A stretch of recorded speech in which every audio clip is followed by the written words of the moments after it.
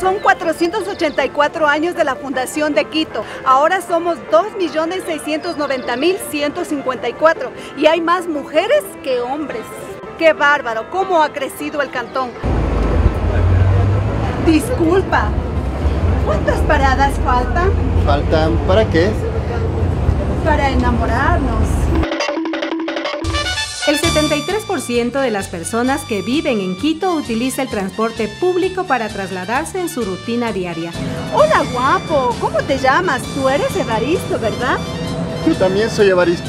Hola Chuyita, te comento que el nombre Evaristo ha sido inscrito desde 1927 10 veces. ¿Y tú cómo te llamas? Yo me llamo María Sánchez.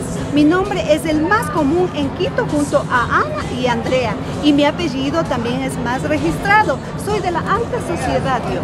Te invito a una colita. Bueno, con sándwich de pernil. Claro, vamos a la tiendita de allá. Por número de empresas, el negocio de tiendas predomina en Quito. El número de estas creció en un 37,6% entre el 2012 y el 2017. Aquí dicen que es una zona wifi, pero no me coge el internet.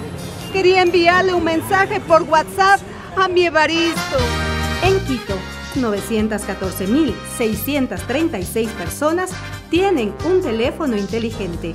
Por aquí me dicen que anda mi Evaristo, que le ha dado apendicitis. ¿Qué más me puedo esperar si es la enfermedad por la que más se hospitalizan los quiteños?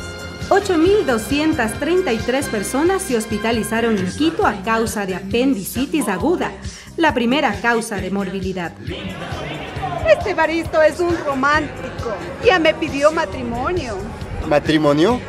Solo quiero que vivamos juntos.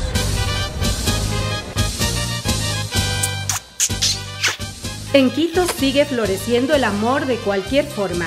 Creció el número de personas que se unieron o que se casaron.